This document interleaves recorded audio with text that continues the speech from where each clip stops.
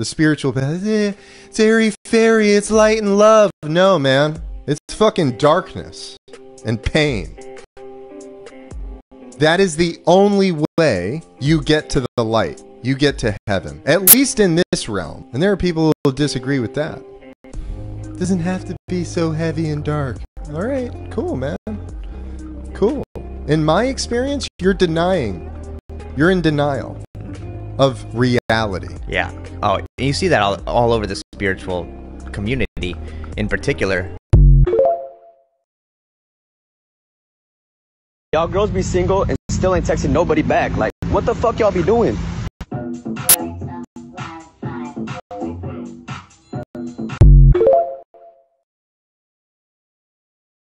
Damn, y'all broke up?